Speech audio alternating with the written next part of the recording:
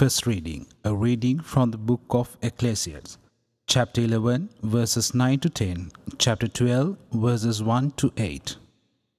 Rejoice, O young man, while you are young, and let your heart be glad in the days of your youth. Follow the ways of your heart, the vision of your eyes. Yet understand that as regards all this, God will bring to you judgment.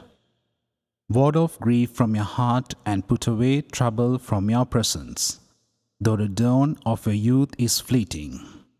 Remember your Creator in the days of your youth, before the evil days come and the years approach of which you will say, I have no pleasure in them.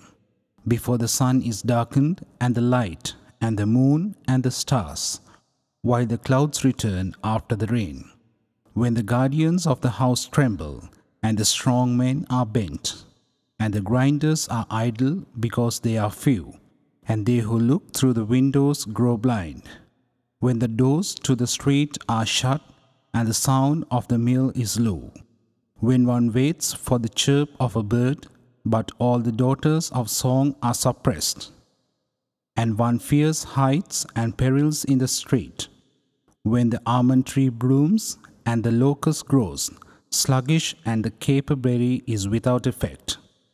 Because man goes to his lasting home, and mourners go about the streets, before the silver cord is snapped and the golden bowl is broken, and the pitcher is shattered at the spring, and the broken pulley falls into the well, and the dust returns to the earth as it once was, and the life breath returns to God who gave it. Vanity of vanities, says Kohelet. All things are vanity. The word of the Lord. A reading from the Holy Gospel according to St. Luke, chapter 9, verses 43 to 45. While they were all amazed at his every deed, Jesus said to his disciples, Pay attention to what I am telling you. The Son of Man is to be handed over to men. But they did not understand this saying. Its meaning was hidden from them so that they would not understand it. And they were afraid to ask him about this saying. The Gospel of the Lord.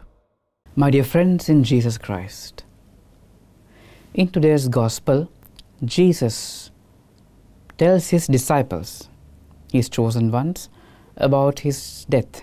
He says, Son of Man will be handed over to the men about his death. But yet they didn't understand, and the meaning was kept hidden from them also. That is very uh, similar to our lives as well. Sometimes, dear friends, we do not know what is God's will, what is what does God want with us, or the will of God in our lives. Sometimes we think it is all hidden in our lives. We may not realize even the presence of God. Is God there? I am praying day in and day out, but I don't, I don't feel that God is listening to my prayers. God is there when I pray. I feel all dryness and I feel there is a void within me. Have I done something wrong?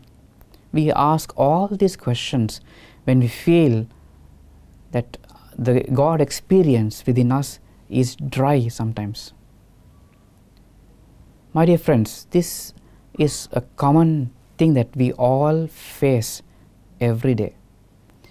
Many saints have that, that experience as well.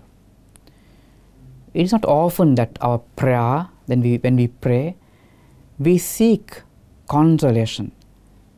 People always tell, Father, when we pray, we feel consoled our problems seem so far and we feel relaxed or when we, we feel everything is back to normal. My dear friends, the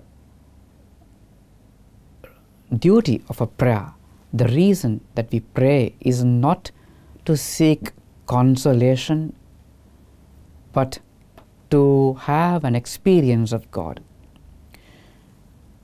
This common mistake that we make, that is to seek consolation in prayer, could sometimes be very addictive and also it could lead us to disappointment and discouragement in prayer.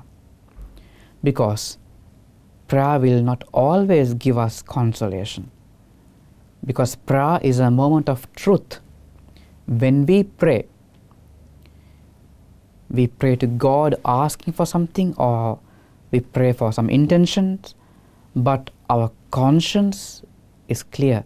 It will prick when we ask something in an unworthy manner. If we are not worthy to be in the presence of God and ask, our conscience will say, How could you? How dare you? And prayer often disturbs us, and it should. Prayer should disturb us. Prayer should lead us to truth about ourselves. It should lead us deeper into ourselves. Thereby, we will know who God is. The more we go deeper into ourselves, we will realize God there. My dear friends, like in the gospel today, the disciples didn't understand when Jesus told about his suffering and death, and the meaning was kept hidden from them. Certain things are not told to us as well. We try to unravel as we go. So, in our lives, dear friends, it is very important for us to realize that God is in charge of everything and to surrender to God is important whether we understand our future or not. Heavenly Father, we thank you for this wonderful day that you have given us. Inspire us more and more so that we may come to the realization that you are in control of our lives, that you lead our lives, though we are not sure about our future. Help us to realize that our lives are safe in your hands so that we may be dependent on your grace all the days of our lives. Amen.